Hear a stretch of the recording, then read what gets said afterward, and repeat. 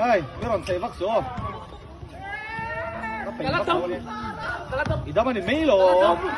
Kalatong. Kalatong kilo. Tuwa yung chiti. Meron sa Evax oh.